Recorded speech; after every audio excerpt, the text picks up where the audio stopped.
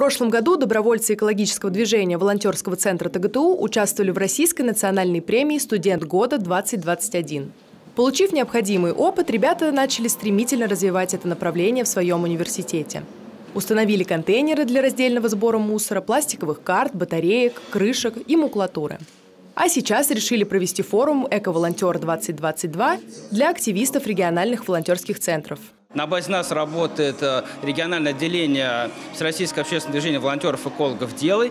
И мы хотим, соответственно, опытом поделиться, прокачать Тамбовскую область и сделать так, чтобы все понимали, что такое волонтерство, и максимально улучшали экологию региона. Кроме ребят Тамбовской области, участниками форума стали волонтеры из других городов России – Липецка, Рязани, Саратова и Камышина. Наше экологическое движение работает уже около ну, почти 4 года. И за эти 4 года мы собрали более 10 тонн суммарно отходов – именно которые пойдут на переработку. Около тонны те, которые не, ну, не пойдут на переработку. Устраивали многочисленные субботники, привлекли 12 предприятий, партнеров Тамбовской области и более тысячи человек, э, сторонних участников, мы привлекли к нашим мероприятиям вовлекли в экологическую тематику. Волонтеров ждут поездки в мусоросортировочный комплекс и благотворительную организацию «Добрая точка», а также мастер-классы по созданию экосумок и игрушек для приютов животных.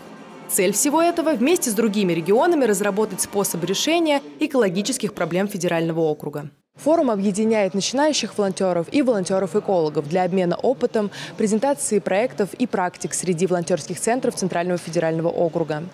Здесь на протяжении двух дней будут действовать площадки по направлениям эко-волонтерства, где ребята будут обсуждать итоги 2022 года и планировать мероприятия на 2023.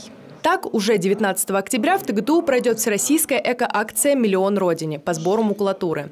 А все вырученные средства пойдут на помощь животным. Полина Мотовникова, Евгений Михеев, Евгений Мещеряков. Область новостей.